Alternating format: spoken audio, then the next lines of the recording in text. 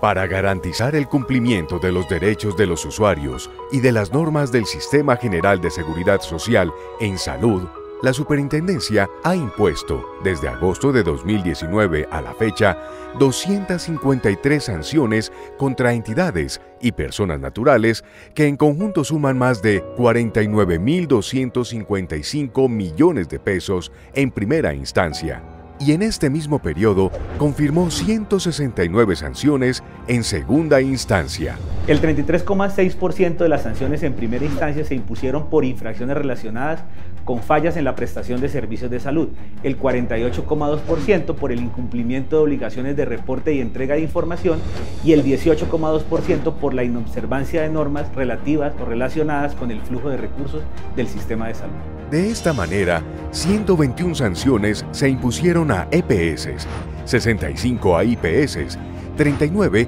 a entidades territoriales municipales, 19 a entidades territoriales departamentales, 4 a generadores de recursos, 1 a ARL, 1 a entidades con régimen especial. Y 3 a personas naturales. Con la aplicación de la Ley 1949, la Superintendencia ya ha impuesto 14 multas por más de 12.900 millones de pesos. De ellas, dos han sido consideradas históricas por su monto y porque por primera vez se impuso una sanción a un representante legal bajo la mencionada ley. Superintendencia de Salud acaba de sancionar a Medimás y le impone una multa por 5.800 millones de pesos por el no suministro de medicamentos y por no atender requerimientos hechos por el ente de control. Es la multa más alta en la historia de la Supersalud. A Medimás EPS se le impusieron dos sanciones consistentes en dos multas, la primera por 6.000 salarios mínimos mensuales legales vigentes por no atender las instrucciones de la Superintendencia Nacional de Salud al no dar solución inmediata y de fondo a PQRD presentadas por pacientes trasplantados. Y la otra multa por valor de mil salarios mínimos mensuales legales vigentes por no atender requerimientos de atención urgente e inmediata de pacientes oncológicos con riesgo de vida en el departamento de Cundinamarca.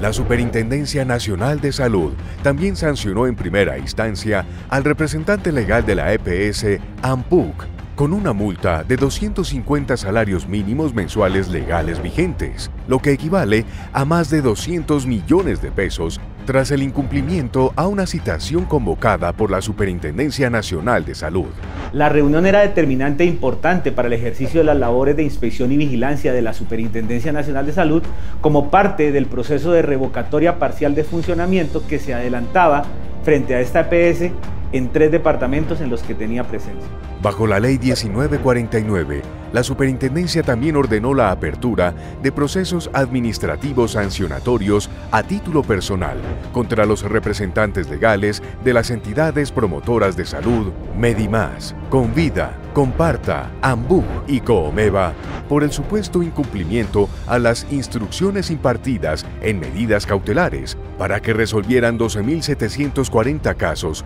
que generan un riesgo para la vida de los usuarios. Mi salud está en un supremo riesgo. La EPS me hizo firmar un papel para dármele paso al niño y nunca llegó eso. La EPS me lo tiene que resolver y en la EPS no resolvieron nada. Por situaciones como estas y de comprobarse la responsabilidad de los investigados, estos podrían verse incursos en multas a título personal que van desde los 50 hasta los 2.000 salarios mínimos mensuales legales vigentes, además de la sanción de remoción del cargo y la consecuente inhabilidad hasta por 15 años para el ejercicio de cargos que contemplen la administración de los recursos públicos del Sistema General de Seguridad Social en Salud.